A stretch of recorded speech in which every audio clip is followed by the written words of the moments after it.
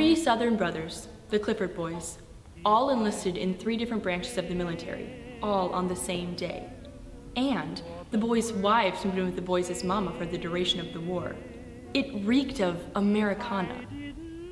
Three Southern gals in a little bitty old town in Louisiana. Weetzie,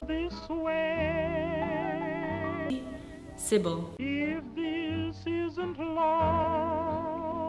and Tude. Then why do I thrill? And what makes Harry swore to me their names alone made this Pulitzer Prize material. while my heart stands still if I didn't care? But last I looked, I ain't seen no dear Sybil letter like some folks I know. Why did you want me to meet you up here this morning? Want is a say in my own life. What is wrong with my kind of dreaming? The cover of life. Would all this be true if I didn't care?